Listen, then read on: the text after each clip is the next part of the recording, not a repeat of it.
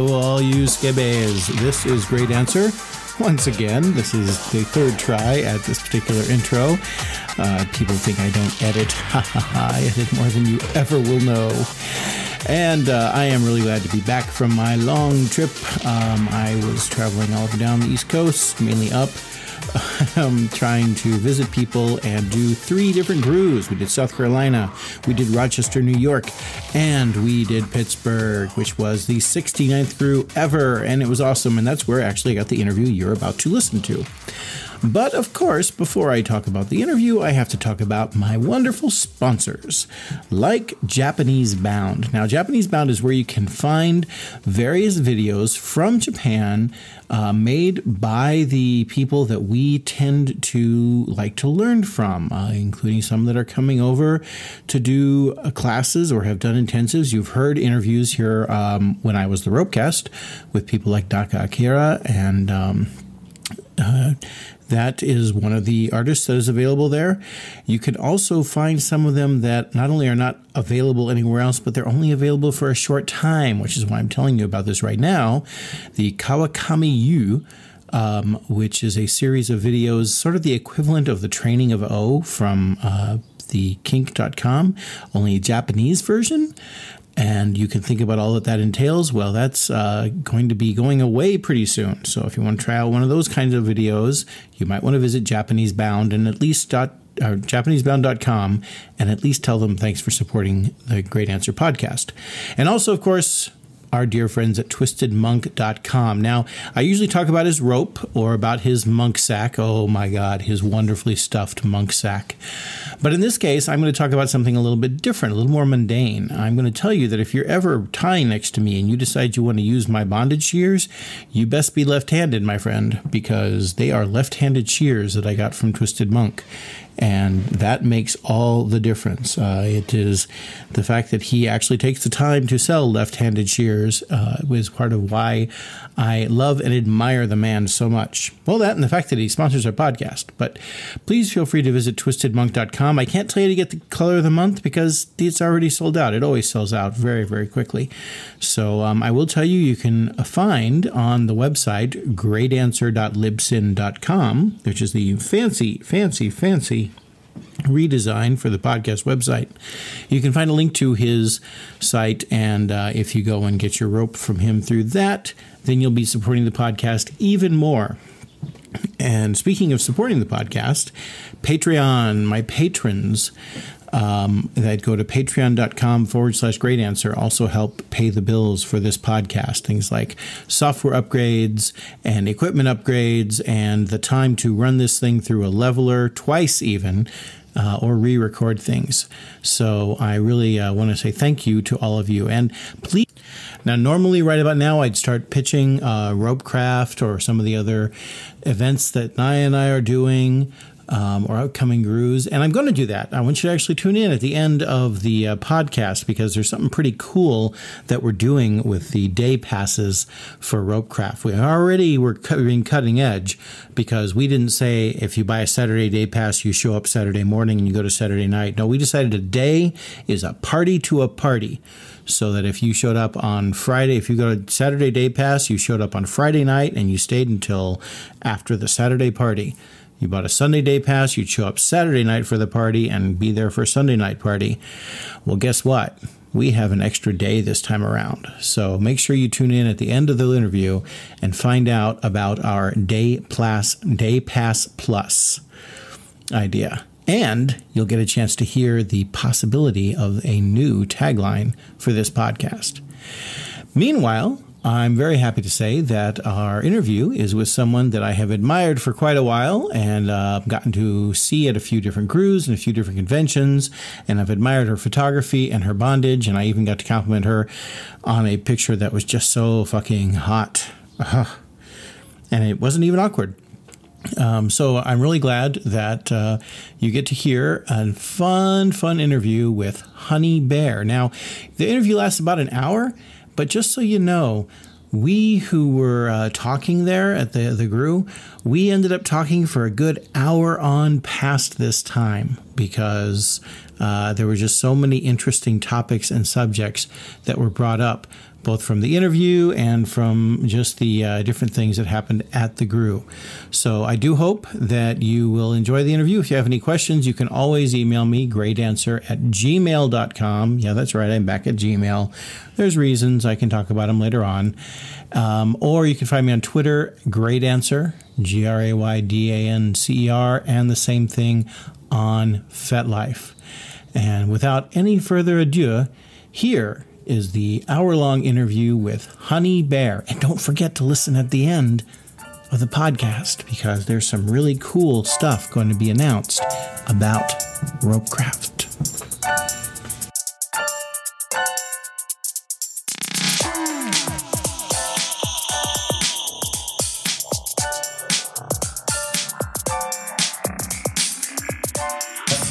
We are coming to you from the, um, I almost said the afterbirth.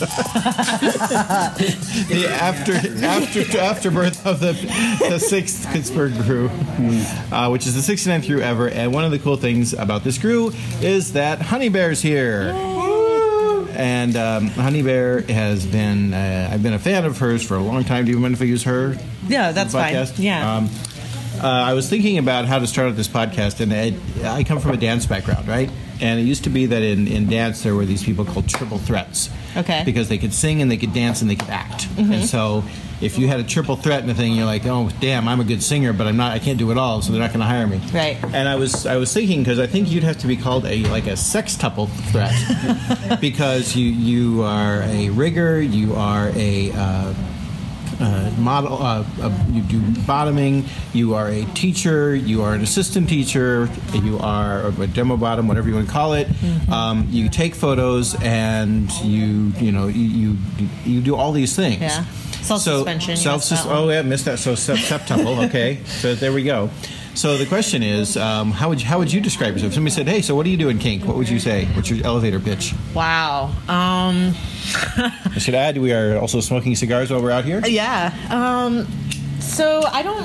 I that's a good question. I, you know, I don't even have a role like on my FetLife profile because I, at a certain point, felt like there was no one role that could encompass like all of the things that I sort of am simultaneously and also um, like move back and forth between. So, you know, in a given day, I could be a submissive, or I could be a dominant, or I could be a top, or I could be a sadist, or I could be a masochist, or I could be, you know.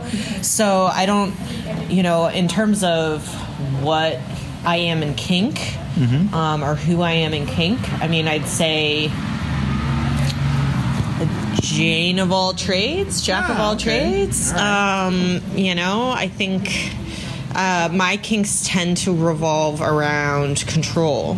Um, Okay, power that's- and that's a- control. that's interesting way to do it. Um, and on, on both sides of the slash. on so both sides of the slash, and I'm also a sadomasochist and have been pretty much my entire life. It was not something I was a varsity rower in high school, so Oh, okay. um, so that was like my acceptable outlet for um, Yeah, that's- that's- that's masochism. okay, so I wish I hadn't said that because my, my middle daughter was also a Oh, yeah. Um, in, in college. I'm like, I didn't. Okay, never mind. yeah, but um, Different podcast. but yeah so you know the rope kind of comes in i describe to people rope is the combination of the power and control aspects and the sadomasochistic aspects and it's one of the only tools i found in kink where i can accomplish both of those things at once um, i really enjoy like um, you know, like the restraint and the bondage in terms of the like power and control and the power exchange. And then also it's, you know, it can be very painful. You know, I hear that there are other people who do bondage that isn't painful, but I do not include myself in that, uh, in that group. So let, let's modify one of Midori's uh, questions that, that she recommends for negotiations. Mm-hmm. Um, so if I'm if I'm watching you do a rope scene, I actually did watch you do some rope last night. Mm-hmm. How will I know that you are enjoying? You're having a good time. What what Hmm. are what are the things that you that you do in rope or that you do in a scene that you're like, yeah, this is what I wanted. All right. um. So You don't have to do that voice if you don't want to. Uh, yeah. Um, so in a, in a sort of like a top space or in a like a sadistic um, space, obviously it's going to look really different um, than the like submissive or bottomy kind of part of me. Um, and you know, I think that's a hard question, Gray. How can you can you tell? I mean, sometimes I like grin stupidly when I'm tying and hurting people. I mean, there's this great photograph on my profile that was taken like I want to say it was last summer or the summer before, and I'm like hanging off of my bottom's leg and just like smiling Mm-hmm. like this huge, you know, sadistic smile. So Well, okay, so let, us modify a little bit. Yeah. I, and I, and maybe maybe wait, I don't know if we share this or not, but if when I am, am playing with someone, there are sometimes reactions that I get Mm-hmm. that really like extra feed me. Like a mutual Mm-hmm. friend of ours recently during a caning scene, like at one point just whirled me, "You fucker," and I was like, "Yeah, that's what I that's what I really want to Yeah. I'm gonna have them swear at me." Uh-huh. Um, so, what uh, is there any particular reaction that you really like? Yeah, that's. that's I mean, I'm definitely a reaction junkie. Mm-hmm. So, um, one of the things that I learned very quickly in bondage is that I get frustrated very quickly tying people who are stoic. um, which you know, unfortunately, as a, a you know feminine presenting person who ties, I would get you know you know masculine presenting people to ask to bottom for Not me. show weakness. Right, and then they would get in my rope and just be stone faced, and it's such a buzzkill to me. Like I get that there are there are doms and tops who enjoy that, like sort of it's service or it's you know the control Yeah. that they have over the bottom that they are able to remain completely silent while being whipped bloody or whatever. Um, but for me, it's really I really want the reaction. Um, so, you know, people like in my rope family who can basically just take anything and rope, um, I will bite them or I will do something. You find that one weakness. Right. So, like um, Ebby Bex, for example, is one of one of Oh, the give a secret here?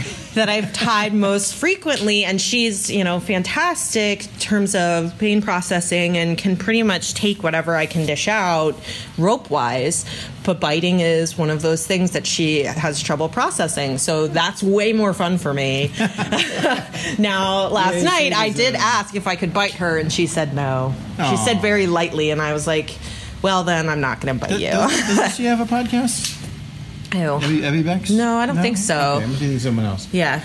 Okay. Um, but so yeah, I mean, I really enjoy the reaction and the feedback and that kind of back and forth um, with my bottom. So the more that I'm getting that, the happier I am, you know, in terms of topping. And I also, you know, when I teach bottoming classes and when I'm bottoming, you know, I talk about kind of active bottoming and how to um, kind of create that energy exchange so it's not just this like the top is doing the thing and Yeah. you're just kind of there. It, it is kind of funny how it's like the, the, the advice for rope bottoms in the scene so for so long was similar to the advice for men in blowjob classes, which is just lay back and enjoy it because you're, you're lucky to feel lucky to be there. Mm-hmm. Um, and uh, both, I think, are ridiculous. Right. You know, I always need to say.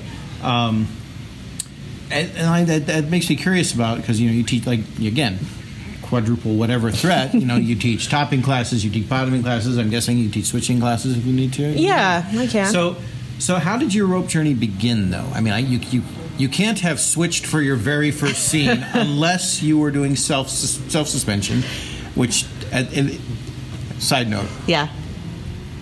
Does it seem like to you that people just assume that if you're doing self suspension, you are bottoming to yourself, or that, that you are that you are topping yourself?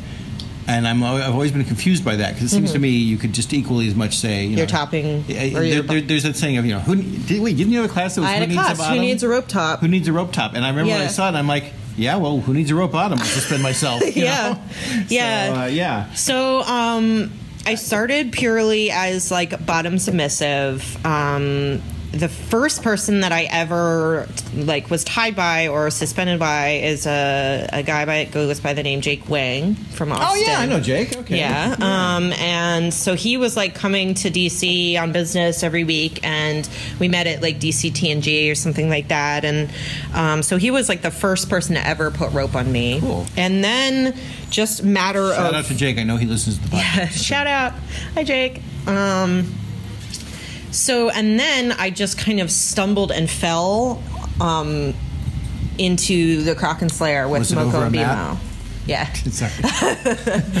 Um, and so Moko was the first person that I ever did like a rope scene with, which is r- kind of ridiculous now. And I think about like four years later and like how how well known he is Yeah. and like how and I'm just like you know I just happened that was the first person to ever you know tie me for a scene which is a little bit crazy and then two months later I met Lizard and started tying with Oh, wow. Lizard and she and I tied together pretty much weekly for the last three years. now, tied. When you say tied together, you mean She tied me. you. Okay. Um, so this was like back in 2013, 20. So beginning of 2014 was when I met Lizard. And I was living long distance from my daddy at the time and just really loved rope and really wanted to be in rope more and just didn't have enough opportunities. Um, at that point, it wasn't quite as popular as it is now, and there just weren't very many tops in the scene. So I kept a few hanks of Moko jute in my apartment, and I started just tying myself up. Um, You know, like in front of the TV at the end of the day, whatever. You know, I'm feeling sad, tie myself up. Like feeling happy, tie myself up. um, and so did that. Smoke two joints Yeah. song there, something like that.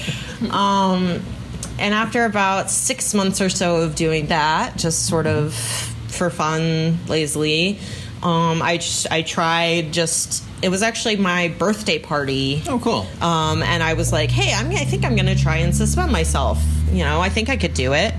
Um, and so that was like my first self suspension. And um, started doing a little bit more of that, started going to more classes and taking, you know, lessons here or there.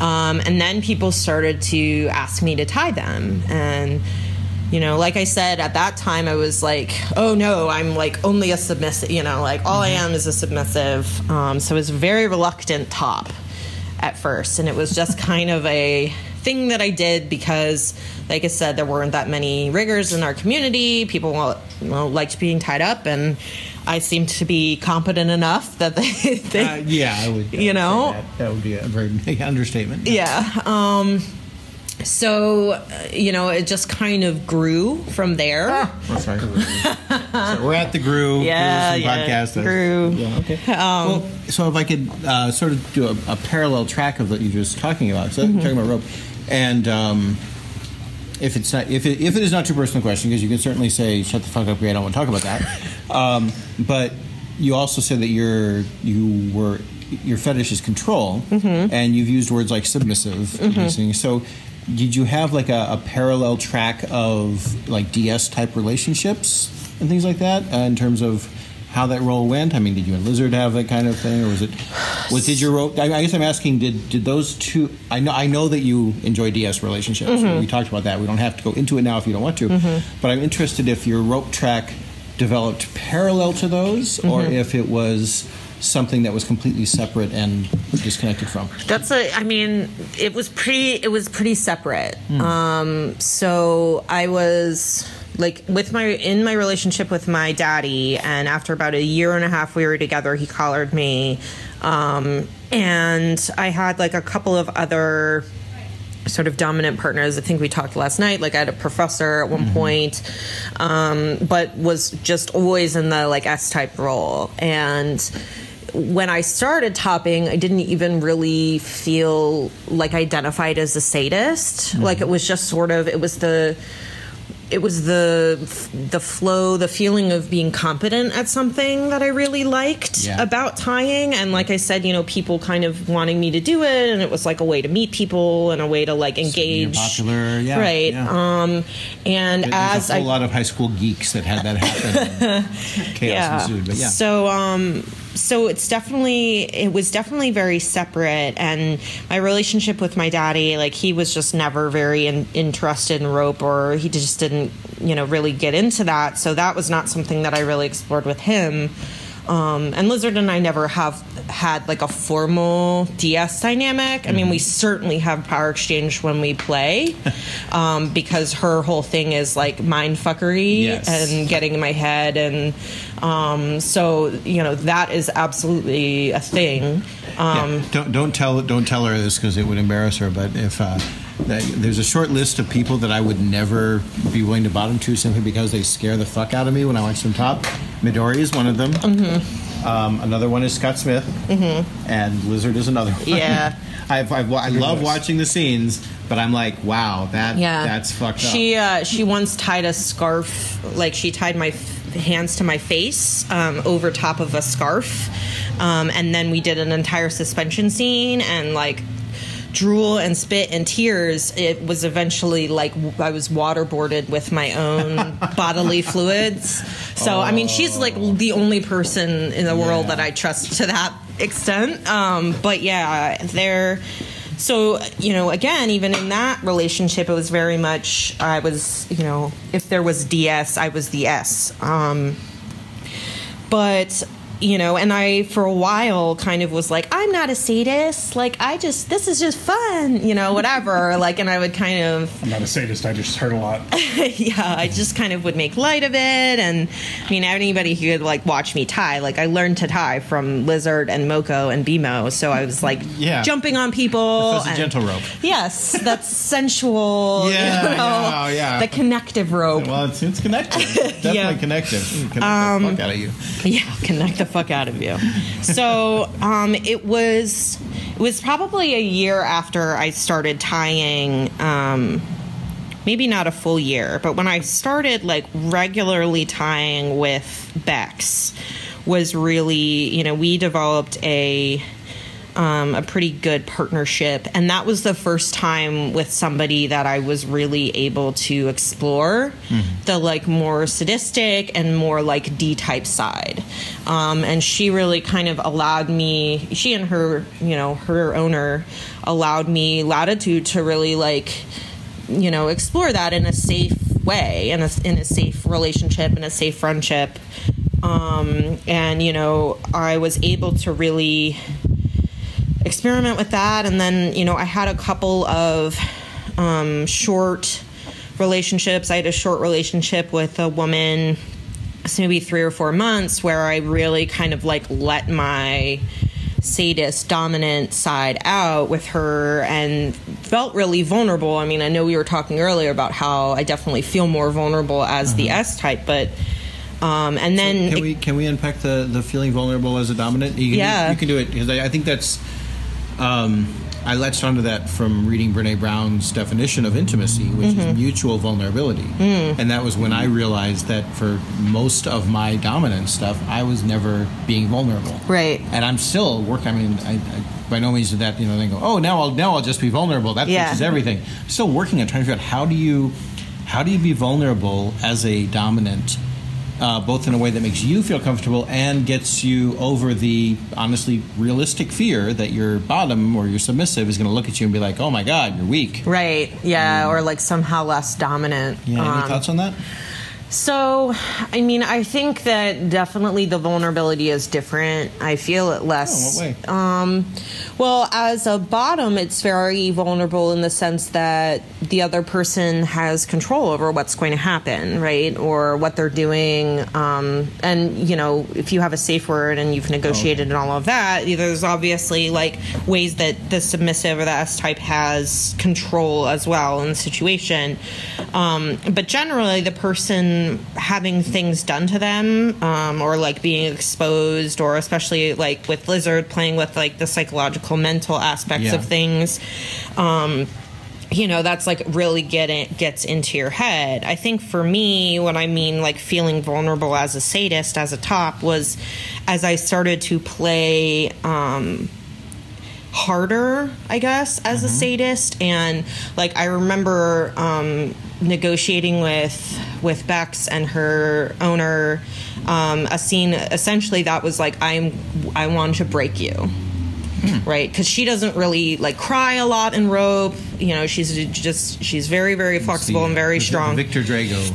Uh, so yeah sorry, Rock, Rocky Four reference for Yeah. those of you who are. Um, I will break, you. so yeah so there was and and in doing that it was kind of you know you're accessing these very like dark parts of yourself. And you know i think the vulnerability comes in the like realization you know whether it's like you're vulnerable in that moment like i couldn't say necessarily but the, Yeah, it's but the the, vulnerability of of, like right like wow i really did you know and Yeah. like holding her after the scene and Yeah. being like you know am i still the person that can put this back together now Right. that i have broken it and i think Oh, for me wow. that was really kind of like it coming full circle and me understanding um, how i could be like feel exposed and feel vulnerable and feel Yeah. you know really um, just kind of you know that same way from the top or the sadist Right. side. That's so. So here's what you're what you're making me think of is um, the the other side of that. The am I still the person to be able to put this back together? That's Mm-hmm. definitely one worry. Uh, will this person still like me? Mm-hmm. Is another one. And to some extent, there's the uh, maybe this happens more beforehand, but if I go here, am I going to be able to come back? Mm-hmm. You know, is this is this gonna you know, am I going to turn into this person who really gets off on this shit and has to do it more? And what will that do? Yeah. And all three of those things are basically taking a risk with your core identity, your sense of self. Yeah, and So, trying, you know, that yeah. soul, that that whole parsing between like, you know, I can do like really fucked up, horrible things and still be a good Mm-hmm. Right. person. You know, And, and it would be so easy to just go through the motions of the things you know are safe. You know, Mm-hmm. that, that, you know, it's read this. What does he call it in in uh, Barrack calls it the spanky floggy uh, scene. You know, Mm-hmm. and and in those things you're not really threatening. You're or you're not risking anything. right? And so I guess maybe the vulnerability is is going far enough that you are risking your own core identity. Mm-hmm. Huh. Yeah. So That's you know, and then I had so like you're gonna have me thinking about this all the way home.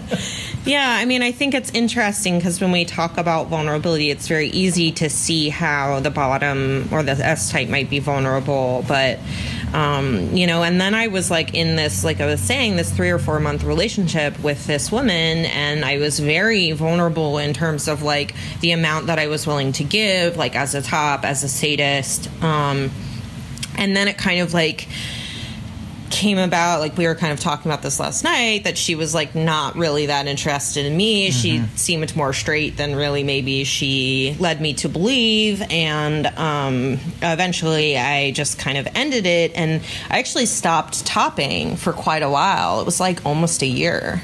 Um, i just put the rope down and Didn't want to risk having that happen again. yeah, I mean, I think for me too, there's a lot of, and we talked about this a little bit last night, but there's a lot of feeling being this like queer, feminine rope top of people are um, pretending to date me or have an interest in me as a person in order to be tied up or have you know access to me the rigor and that was a, a relationship that ultimately felt that way that it was you know and whether or not that was her experience like i'm not going to try and um, It's what it felt like to you. So Right. Yeah, valid. so you know I, that was really hard for me um, i did eventually um, you know pick the rope back up again Yeah. it, maybe it wasn't a year it was probably six months later um, and i also had like a short um, ds relationship with another woman um,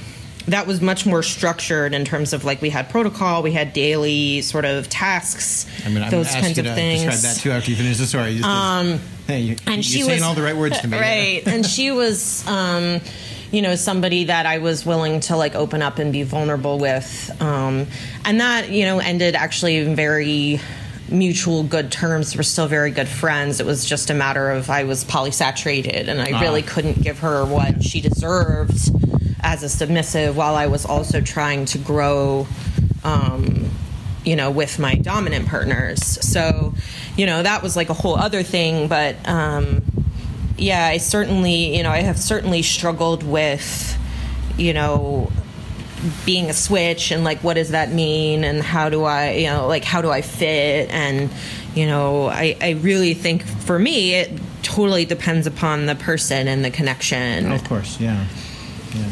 So um, maybe it's later or not, but let's uh, take a let's, let's talk about protocols and stuff like that. Like what what kind of things do you like to do when you are let, let's you work on both sides of this. Yes, I year. so, do. So let's say what are what are some uh, services or protocols that feed your um, your uh, service receiver side? service receiver side. Okay. Um, so I don't have a whole lot of experience with that. Um, but for you me, fantasized about it. but I fantasized All right, about so it. What's in your fantasies here? Um, so it's generally um, just kind of a like I am a I'm an adult, but I don't I'm, I'm not very good at the adulting thing. I really Adulting's like hard. yeah. It sucks. Um, so I like people who want to make my life easier um, and who through service it's not you know I, I think of service uh, from both sides of it right we shouldn't be adding things that actually create more work for everyone we want to be um, you know creating rituals or creating service that um, that benefit everybody Right. and um, if it's not improving your life, then what's the point? Right. Um, so it's definitely not something that I've had a lot of experience with, but definitely, you know, just bringing me things, being available for for tasks. Let's let's, let's, reframe the question. yes. Can you think of one thing that, like in the last 48 hours, you have to do, you had to do it, Mm-hmm. and you just thought to yourself, God damn, it'd be so much better if somebody was doing this for me. Um, like packing Packing to come here. Yeah, Yeah. Um, and that's something that I used to do for my D type. Um, That's something that Naya does for me. Actually. Yeah. So, um, and yeah, that's I, I, I come at service from a very pragmatic standpoint. Um, the class, the DS class that I've taught, I mean, maybe I've taught it a handful of times at this point, um, is. Specifically, protocol, ritual, reward, and punishment, and um, it kind of talks about how to incorporate different protocol and service into daily life so that it is just kind of part of your lifestyle. Now, if you do that, though, doesn't that run the risk of it suddenly not being special? I mean, How do you how do you avoid that? how do you avoid Tell tell us the answers.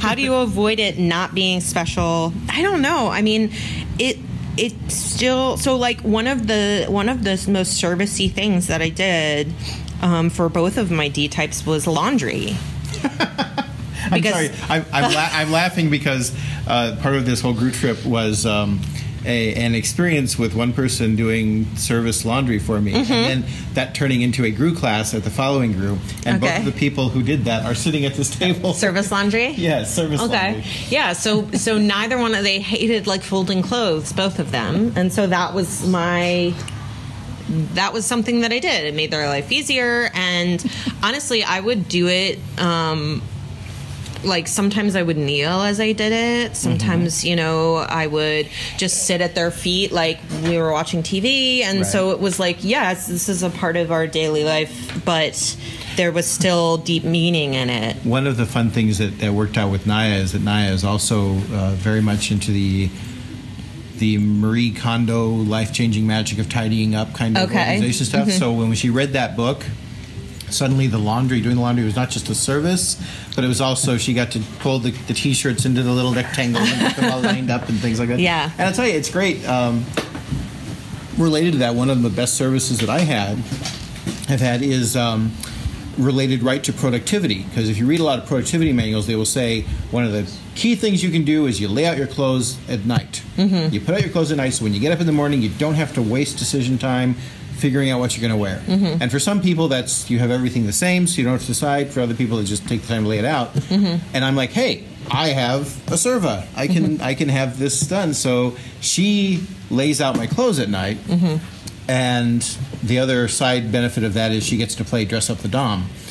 So yeah. she gets to choose what I'm what I'm going to be wearing, and I, of course have the right to, to not do it. Yeah. Um, but the the weird sidetrack to this was that when I've been on this trip by myself, I found that I like there was one place I stayed and I like laid out I, I had separate clothes hangers and had all of my outfits for every day set up all in a row. Yeah. And I'm as I'm doing it, I'm like, who the fuck am I? What where did this come from?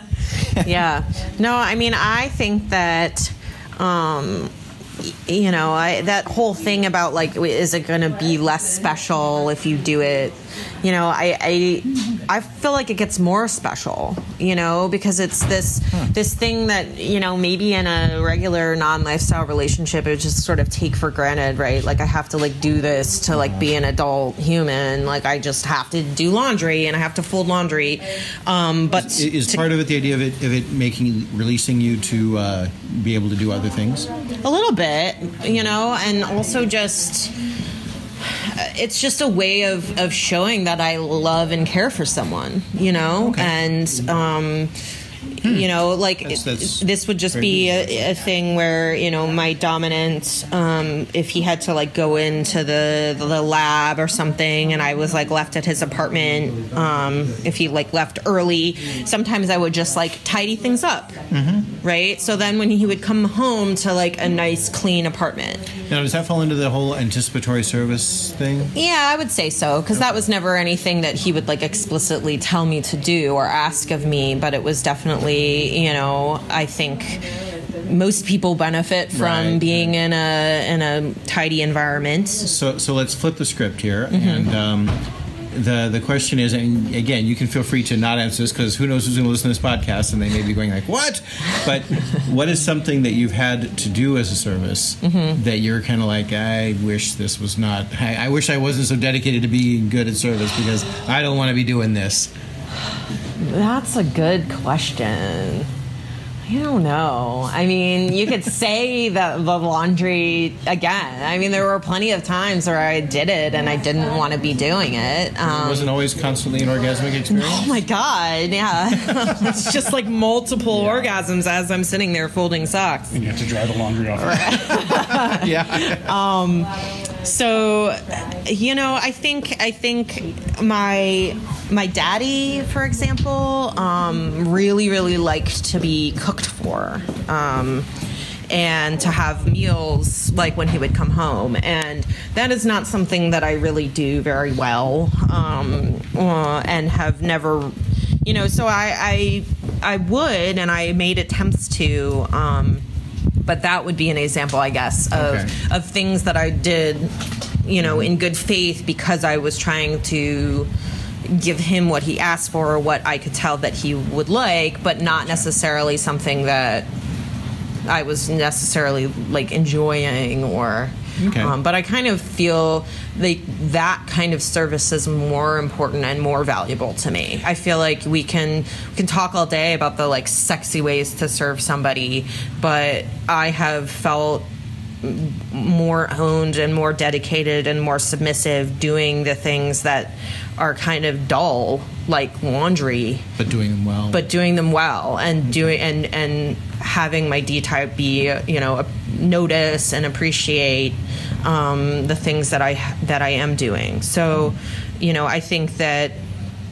And that's something that I talk about, like when I do teach DS, is that, you know, we we want to we want to be able to foster a lifestyle that's sustainable number one you know because i think a lot of people kind of jump into ds they want to have all of the you protocols just make a contract, you go to the red room, and everything's fine. Right, and they want to do everything at once, and then suddenly. Um, so, one of the examples I talk about in my DS class is that when I first was a submissive, I thought that like coffee service, right? Everybody does coffee service, and they like bring coffee to their D type and then whatever in the morning. And so I was like, he, he really liked coffee, he drank it every morning. Um, so I was like, I'm going to do that. You know, I'm going to be this great submissive and do coffee service and bring him coffee in bed. But I am not a morning person.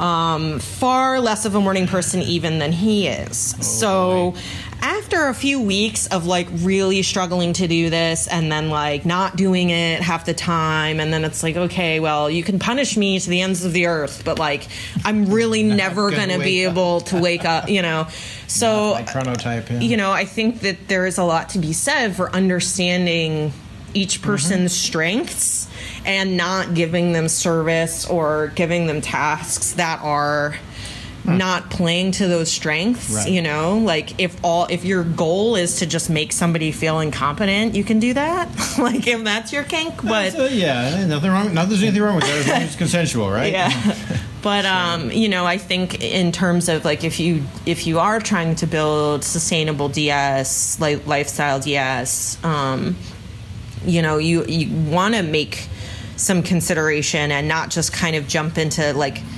like the coffee service thing was just like well i've like heard yeah. about it Yeah. everywhere you know so that was like well if i was if i really loved him or if i was truly submissive Oh, or whatever.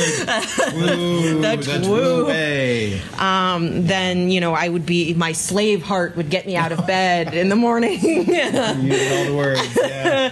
um, and you know I just at the end of the day that's not Yeah. you know that's not realistic. I, I want to be clear. I am not mocking the idea of slave heart at all. I think slave hearts are absolutely wonderful.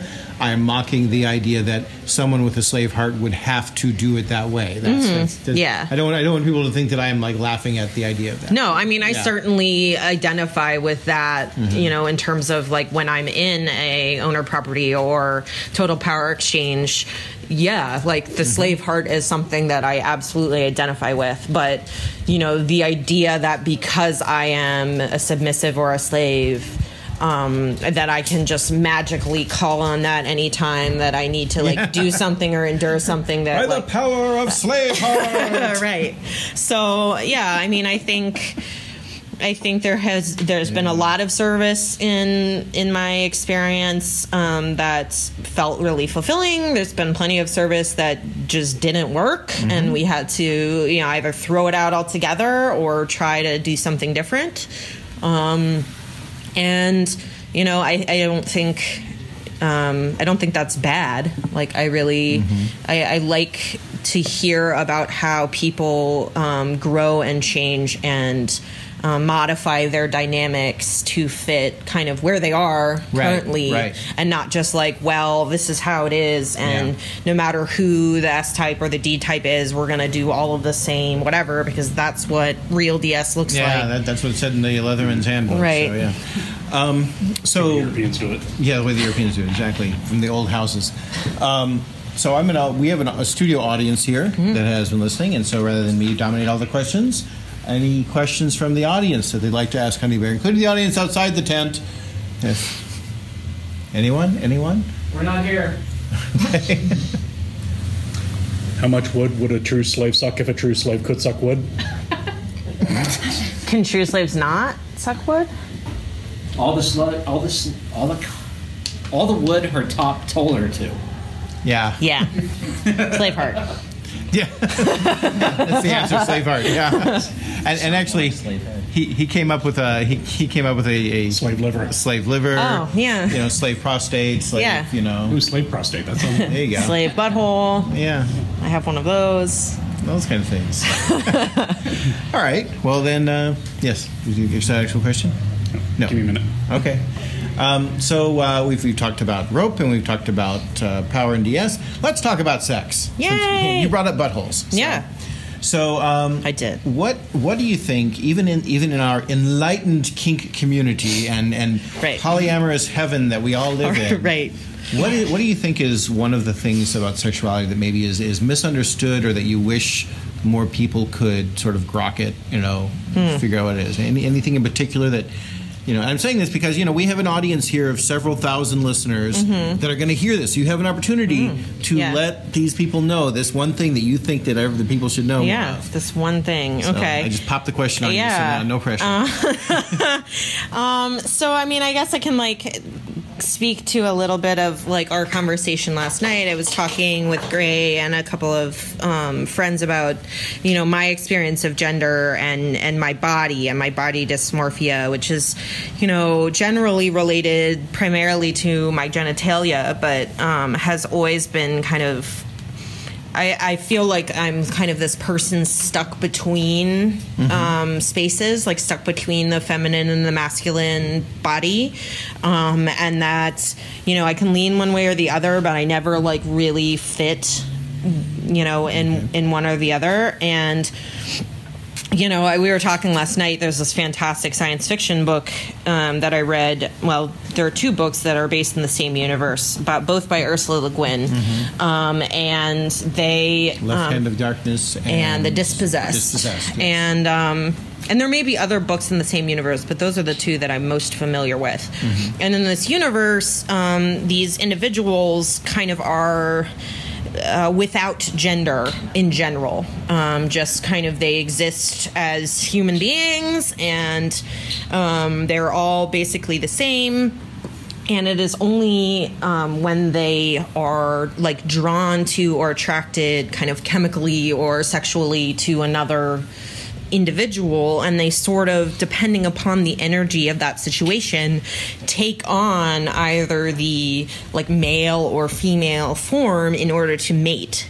Um, and i remember reading that as a oh, it was 14 something like that um, and just like oh my god i wish i lived in that world right? And i wish that i could just depending upon the person that I was that I was with or the connection that I had, I could just kind of change my body to, you know, to mate with them, yeah, or just like whatever shoes. You know, right? I want hiking boots. I want heels. Whichever energy I happen to be feeling, right. um, and so you know, I think. Uh, like I right now, I guess I, I kind of use the term genderqueer, but you know, I don't really know like what thing or what word I would use to describe myself. Um, but that's what, what, is, what does queer mean to you? This is something that came up in, in Twitter recently. Yeah, and and it's not looking for a, an absolute answer. It's just that it, it's I'm interested to know like how so do you what queer? does gender queer or what is queer? Queer first. Okay, so to me, or maybe gender queer is maybe is that easier?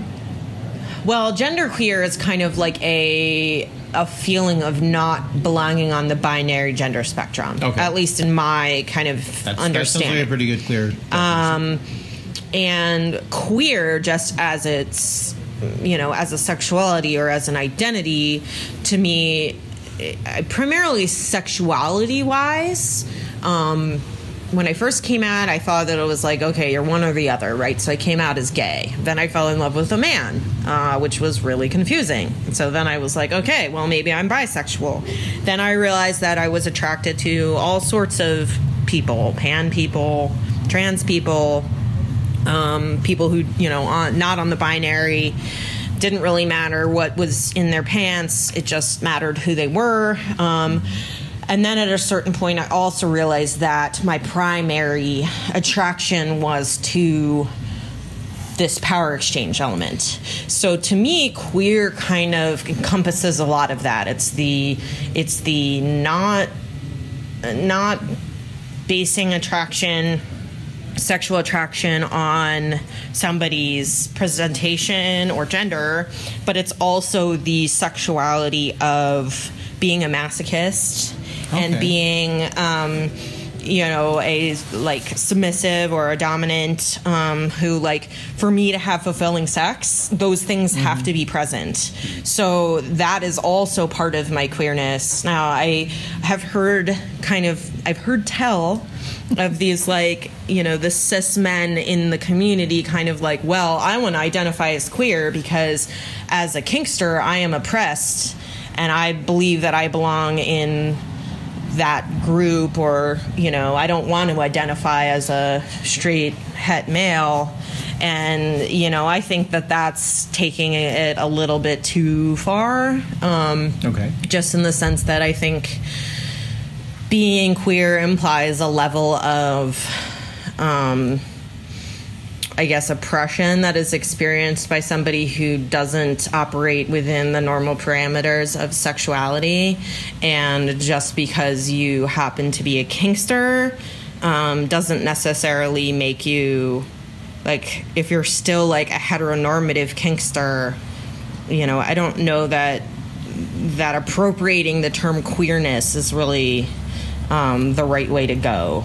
But you know, there's like plenty of arguments on both sides. Yeah, for it's not an easy question. That's you for know, sure. um, for me, it's definitely it's a combination of my gender and my sexuality, Mm-hmm. right? Like I don't, I don't really identify as bisexual because I don't really think that there are two things that I could be attracted to. Yeah, I, I always say, you know, I, I'm bisexual. I'm attracted to butch and femme. you know, right you know? you know and everything in between and um you know and sometimes i'm attracted to energy or to um to Good rope. yeah like to to what was the thing that i heard you say like you're you like people who are like competent it was maybe Yeah, not that I, I word definitely fetishize competence. Right, Yeah. so- I- I- especially you combine grace and competence.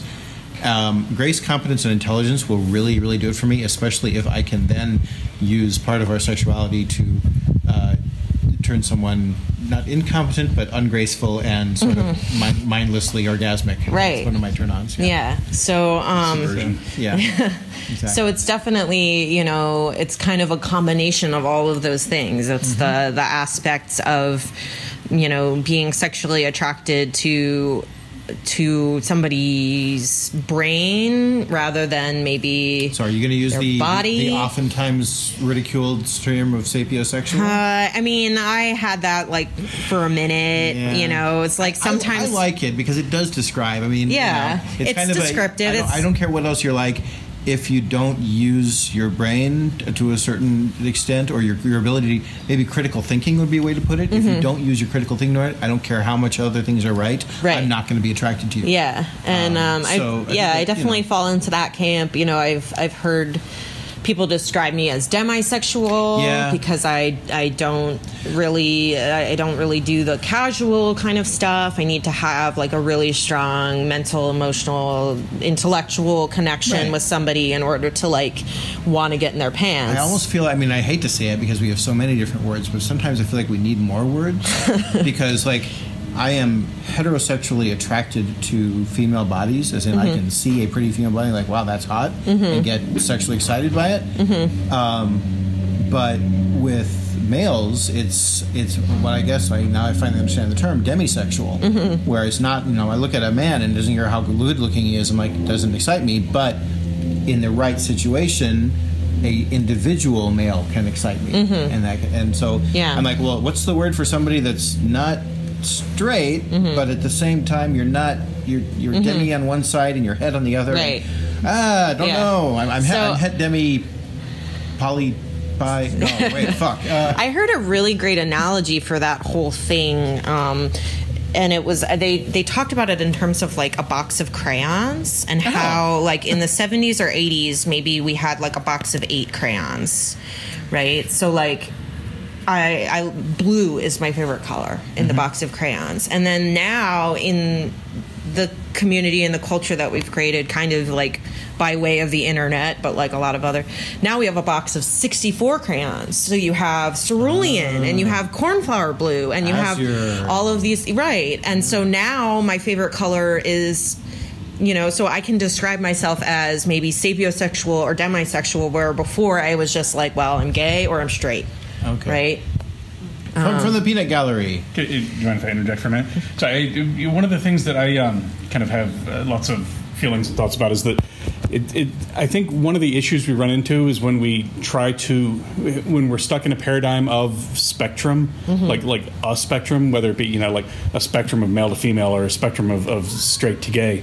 Um, I, I think it's going to be both limiting and uh, always inaccurate to some degree because really I think it, you get much better descriptions if you break it down into just a bunch of different scales. Like there's a scale of how sexually attracted I am to male presentation. There's a scale of how, how sexually attracted I am to female presentation. There's a different scale for like maybe specific genitalia or mm-hmm. body type or like lots of other things. And mm-hmm. you know, the, I think that you know, we if somebody's like a one on this scale and a ten on this scale, we call that person X, Right. and, and we're we're using sort of shorthand. Yeah, it's uh, kind of like this one archetypes or whatever, as instrument of opposed like to trying to describe. You know, I think because we don't want to give somebody really, our, our 27 point sexual Yeah. sexual and and it's it's also part of type whatever It's also part of it is that you know we're like we're, it's like we're doing the um, what was the the geometry book where like a dot falls in love with a line. Oh, God, is- I don't know. It's like, but it's basically the idea of of you know a dot is one dimensional, a line is two dimensional, Right. a square no square is two dimensional, Yeah. line is two dimensional. Anyway, whatever it is, I, I'm not a, I'm a fucking dancer, not a mathematician. so anyway, but but it's this idea of um, when you have a spectrum, then you're going to automatically just have one end or the other. Mm-hmm. When the reality may be that it's you know it's not it's not left or right. It's it's quantum and beautiful and Yeah. strange, and you have time. And Yeah. um, Midori does an interesting axes. I can't remember what they are, but it's like she draws a, chart and she draws you know up upward and downward, or upward and downward, and, and horizontal, and you have different quadrants and then she like draws the z-axis you know through it Mm-hmm. Mm, yeah. turns it three-dimensional and you you figure where we are and she says wherever you end up there you you you call that your fun cloud Nice. and, and you I like to hang out in the fun cloud kind Yeah. of thing and every once in a while you find people who your fun clouds interact and some people your fun clouds aren't even close to each other yeah, and who Even I might, they might look like they're similar from a certain angle because Right. from that Right. perspective, the X and the Y. and you know who I might be attracted to, like walking down the street. You know, maybe they open their mouth and suddenly I'm not attracted to them anymore. You know, Yes, so it's yes, this yes. whole kind of like, okay, like, yeah, so just are we talking Yeah. just literally a person in a photograph attracted to? Are we talking about like meat space real life person that I'm interacting to with? Yeah. You know, and so it gets really complicated. And so, uh, you know, to be quite honest with you, queer is just a really nice umbrella term for Yeah, me that I can easy. say, you know, if I like you, I like you, and you don't really need to worry about whatever other stuff there is going on with me. So, so going back to the original, the original question, what do you want people to know? Is it basically that there is more to sex, sexuality, Horatio, than is dreamt of in your philosophy? Yeah, I mean, pretty Our much. genitals contain multitudes. yeah, you know, and if I could, if I could switch them, I would, and you know, I- Detachable penis. Yeah. detachable penis you know i definitely like i i sometimes like bristle when i had a conversation with somebody recently and this was like totally not their intention at all but they were talking about a, a mutual very good friend of ours who i have had sex with and um, this person is this, this man and he was like yeah you know it's so great like i feel so special because i'm the only dick in this person's life and I just kind of was like, okay, like I know what his meaning is, but I kind of want to be like, hey, I have a dick too. It just comes off, you know? And so that's my like sort of way of dealing with those kinds of things. Yeah. Um, and I think that, you know, it's like even even in our well-meaning enlightened community, we still kind of grapple with this um, you know, we we are products of the culture. Yeah, exactly. We're socialized to be a certain way, Right. We try not to. Yeah. So, um, I guess uh, it's time for the, the lightning round questions. Okay. Much simpler questions as we're uh, we're getting into the tail end of the podcast here. So, um, I'm just double checking. Okay, good. We're still recording. That would have been would have been a great conversation if we stopped recording by accident, but you know. Um, okay, so um, what is uh, uh, your favorite meal? My favorite meal, probably um, chicken tikka masala Oh, okay. and garlic naan. Okay, uh, your beverage of choice. Um, water. Water. Sometimes Diet Coke. If I if I asked you to uh, tell me a good movie that I should watch, what would you recommend? Eternal Sunshine of the Spotless Mind. Ooh, yeah, that's a, that's a deep one. That that, that was one that, that hurt my brain and, Yes. and, and, and my heart. It's so when I watched it. yeah. You have to be you have to be willing to um, feel the feelings. Yep, yep, that's Um, for sure. How about books? I mean, you already recommended two, but let's say let's say I'm like, oh, I've read those. What what is another book you could recommend me? Um, so I'm a really a big fan of dystopian fiction. Oh. So Brave New World is kind You of my really- go-to. You should also you should read Kameron Hurley's uh, God's War trilogy. All right. Oh, yeah, yeah. Fucked up dystopian. I mean, Yeah. her Mirror World ones are really, but yeah. Yeah. Anyway, oh, I was also going to recommend, um, in terms of genderqueer science fiction, Mm-hmm. uh, Ann Leckie uh, has written a trilogy: Ancillary Sword, Ancillary Justice, and I can't remember what the other ancillary is, but. The main character is completely gender. I, I still don't know what gender that person is. It doesn't Yeah. really matter. But Right. but uh, yeah, so that's another recommendation. Um, okay, so um, getting more into kink, um, I uh, I have a magic wand, and I can wave this magic wand. It's not that magic. And hey, hey, it's not what they told me. No. Yeah. Um, I'm blushing now. The uh, the uh, question, que- I magic wand, and my magic wand has. Yeah, you just. Evan loves the fact that you just totally derailed my question here. Sorry. That's all right. I have magic wand. I can wave it, and I can make anyone, real or fictional, alive or dead, appear, and they would want to play with you. So, Jeez. who would you want me to have manifest, and what would you like to do with them? I will say one That's of the not an easier no, question. one of the most interesting ones that I've heard of the answer to that was Benjamin Franklin. and I was like, well, I know a guy who looks like Benjamin Franklin, but I'm not sure if that was free. So, Franklin would have so much syphilis. wow. So is this like a? th- This is like to play with, like in a kink yeah, whatever. Well, you, know, you can make it sexual if you want. Yeah. or sexual? Basically, this this is your this is your fantasy. Anybody at all in the world, you know, you could. I'm you know- trying to think of like characters in books that I've like Sure. had hard-ons for. Um, but I'm definitely struggling to like pick a specific person. Um, so at the very beginning of my kink exploration this is like so weird and i don't even know where it's coming from but it's kind of in the back of my mind. I was with this uh, this was when i was 19 i was with this guy who was kind of a shithead but he was like the first person to like beat me up and stuff and you always remember your first. and it was right about the time like this weird ass movie came out with Jim Carrey and I don't even remember the name of the movie but he has all of these like back tattoos all over him and he's like really um like muscular or whatever and there's this sex scene where they're Jim playing Carrey? yeah Wow. they're playing um She Wants Revenge tear you apart and it's like this sex scene and i have fantasized about that so many times so it would be whoever that character was um, probably just like very violent sex Okay, wow, that that is actually really remarkably. Now I want to go find the movie. yeah i don't even know I, I never thought of Jim Carrey as muscular and tattooed, but you know that would work. yeah Okay. Yeah. Um, okay. So. Um, So what? what is something that um, uh, that people would be surprised to hear is in your toy bag? I don't know if there's anything surprising i mean i have um, Okay, I, I can rephrase the question if there's nothing other. Uh-huh. So the other the other side of this question is just like you're about to head out to the club or the party or whatever. Um, what, you're like, I'm going to have a good time tonight. Mm-hmm. What do you pack in your bag? Um, well, I primary like my Yeah. my primary implement is rope, so there's definitely rope. Well, what kind? Moko jute. Mocha jute. Moko right. jute. And I say Um, which spec? Oh God, uh, I, I know think- it's like yeah, it's his fault. He, yeah, uh, right needed- now I think maybe it's the NB 2015 or 2016 That spec. was a good year. Yeah. Um, So that's my bad. Yeah, I you know I don't know. I've I've always had just I, Yeah. I had like Wicked Dave spec at one point. So You know, get all this stuff at mokojute.com, and he doesn't even sponsor this podcast, but you should still go visit. yeah. um, It's good stuff. So definitely that. I'm really I'm really into mouths. Um, I am hugely orally fixated, Mm-hmm. um, and so I do a lot. I have like an O gag in my bag. Oh, okay. I was gonna say you'd have a. Um, you'd I have a mouth in my bag. so I have a and I have an O gag in my bag, um, and I do a lot of like fingers and mouths and that kind of Uh-huh.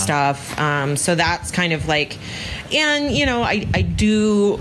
I do have boots, and I do like to kick and stomp people while I am tying them up. So that might also be something that people Nice. don't necessarily expect. Um, and my teeth also, because I did mention biting earlier. Um, yeah. Okay, cool. Um, and so the final, the final one uh, is what is your favorite dirty word? Probably cunt. It's a popular one. Yeah. yeah. Yeah, I really I like that word so much better than pussy because pussy Mm-hmm. has been so um, in our culture, especially so tied in with like weakness and Yeah. whatever, like the the demasculization or Cunt has the same weakness in Europe because it's used in, especially in Britain. Mm-hmm. Right, Uh, so- but to me, it's like we have these very like um, like cock and dick and you know those like very kind of hard and cunt is like a nice Yeah, like that's yeah. what I want to like describe or I use the word junk because that's just very Mm. Okay. kind of all encompassing. You know, if I'm like not feeling particularly receptive to what I have between my legs, like I might just talk about like my junk, blah blah blah. Gotcha. Cool. Yeah. All right.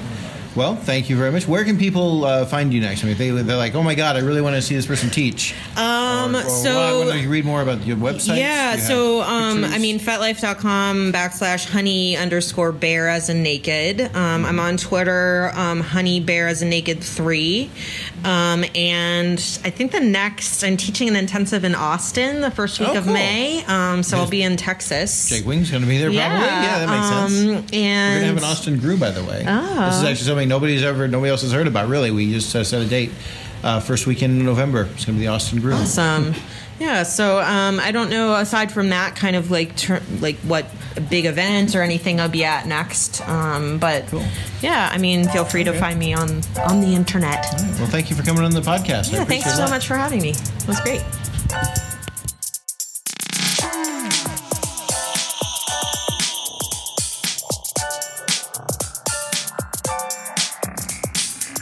All right. So uh, thank you very much, Honey Bare, for uh, doing that. And thank you, everybody at the uh, GRUE for making it possible, uh, including the people that were in our lovely studio audience. And a huge shout out to Twisted View um, and Kashmira for making the Pittsburgh GRUE such a fantastic event and putting up with me for an entire week. Uh, sitting on their couch, eating their food, and, and watching their TV. Again, I want to give a shout out to our uh, sponsors, JapaneseBound.com, where you can find some fantastic uh, Japanese videos, uh, very many of them exclusively through this site. They are digital downloads, so you have access to them for as long as you want, wherever you want. And uh, also to Twisted Monk. Twisted Monk, who has been a dear friend for a very long time, longer than I think either of us want to imagine. And um, he uh, always has uh, uh, probably one of the best and smartest businessmen I know, as well as being ethical and a good example of how to integrate kink into your life in a way that benefits everybody. Uh, and Patreons, patrons, you have been I rock to help me get through this. I hope that you have uh, will continue to. And if there's ever anything I need to do to help keep your support, or hey, even you podcast listeners, you can feel free to email me graydancer at gmail.com. Uh, yeah, that's right. I went back to Gmail. There's reasons, but we'll get into that another time. Do got to do a slight second just to let you know one little cool little thing that's coming out of Ropecraft. You know that Ropecraft is coming up at the end of May, and you probably already have your ticket because, hey, you're listening to my podcast and I know you have tickets. But if you don't, or if you have friends that are thinking about, hey, you know, I'd really kind of like to go to IML uh, instead of Ropecraft, well, we, we created a way that you can get a little bit of both. Uh, we're having day passes. Now, our day passes are not your average ordinary day passes. They never were. At the beginning, we said a day for us goes from party to party. So instead of just like getting a day pass for Saturday and only having to show up at Saturday morning through the Saturday night party, no, no, no. You get to come to the Friday night party, the day of Saturday, and Saturday night. If you get a Sunday day pass, you go Sunday, you go Saturday night party, all the way to the Sunday night party. Well, our day pass, day pass plus has that and a little more. So here's the way it works. Basically, any day pass you get not only goes from party to party, but it also includes Monday.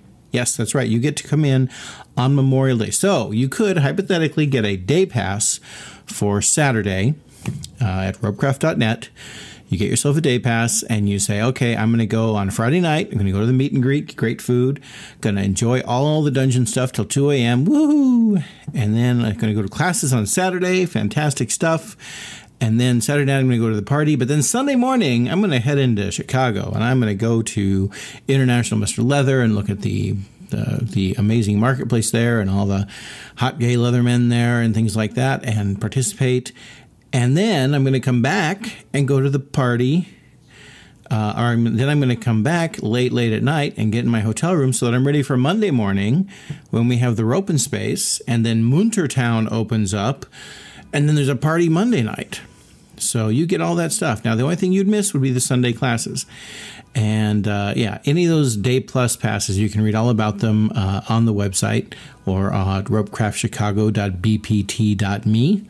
Um, and all of them have um, the initial price of our first ever Ropecraft, $139.99. So you actually get just as much rope bondage convention as you would have gotten if you had gotten the very initial price because you that was a two day con and that's exactly what we're offering you with our one day passes but they're day plus so if that all sounds complicated it sounded complicated to me but it's really really a good deal is what it comes down to so go and get your tickets ropecraft.net now we had a, a suggestion for the tagline it almost works uh, thanks to Prof. Cedar. He said that uh, maybe a good tagline for Graydancer's podcast is something like, hey, when it's more complicated than black and white, that's when you gotta dance in the gray. So I kind of like it. What do you think? Let me know. GraydancerGmail.com. Meanwhile, I will talk to you next week.